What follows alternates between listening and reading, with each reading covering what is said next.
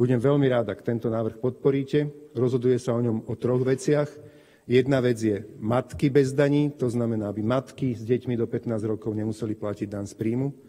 Druhá časť tohto návrhu je mladí ľudia bez daní, čiže aby mladí ľudia do 25 rokov nemuseli platiť dan z príjmu, aby zapustili korene na Slovensku a neodchádzali nám do zahraničia. A tretia časť je o predložení podpory 200 eur aj po roku 2024. Takisto odporúčam najmä kolegom z demokratov, nebojujte proti 200 eurám na dieťa. Rodiny si to veľmi vážia, zásadným spôsobom im to pomáha.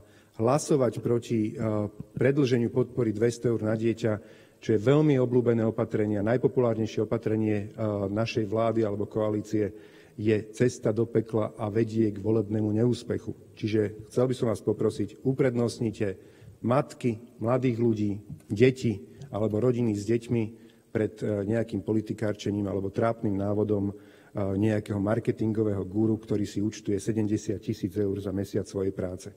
Ďakujem veľmi pekne, že tento návrh podporíte. Matky si zaslúžia mať rovnaké platy ako muži. Ďakujem veľmi pekne.